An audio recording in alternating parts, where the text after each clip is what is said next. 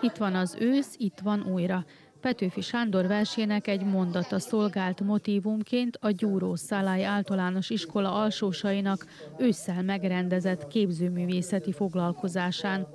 30 alkotás született. A gyerekeket a gyümölcsök és tájak emlékeztetik leginkább az őszre. Szép, ilyen narancssárgás színű, zöldes, és többféle szín van benne. Az őszre legjobban a gyümölcsök hasonlítanak, és mivel összesok a gyümölcs, ezért gondoltam, hogy egy gyümölcsös tálat rajzolok.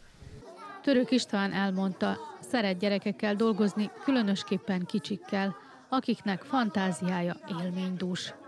Az ősz annyira sok ö, szép szín van a, a, a fák, a levelek, a gyümölcsök, meg mindenféle, még plusz akkor ilyen állatokat vagy madarakat is bekombináltak úgy, hogy ez, ez talán az évben a leggazdagabb, főleg ilyen rajzolásra, festésre.